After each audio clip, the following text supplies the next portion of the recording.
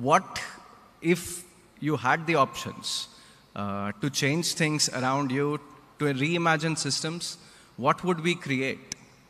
And I feel like just believing that the world today is only as good as it is because that's how far we've come as humanity.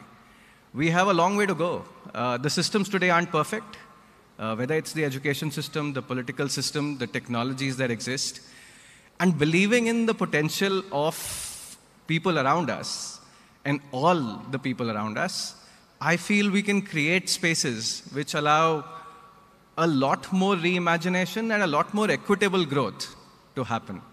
Uh, that, that kida of thinking about inequity uh, is what got me to get out of uh, the for profit, high growth, most paid engineer kind of uh, tags and uh, startup success to move on to building Udhyam.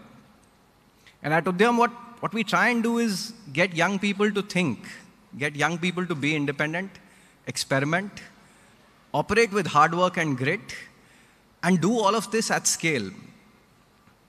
Like, a lot of people ask me, hey, why do you have to do this at scale? Why can't you just run a small institution? Um, and my answer is that I was born in India.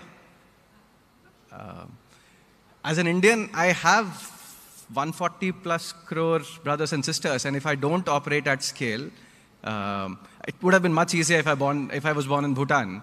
Uh, I could be running a small school and be happy, but I feel that all of us uh, as Indians owe it to India to be able to think about and solve for the challenges and the inequities that exist in our country, at least.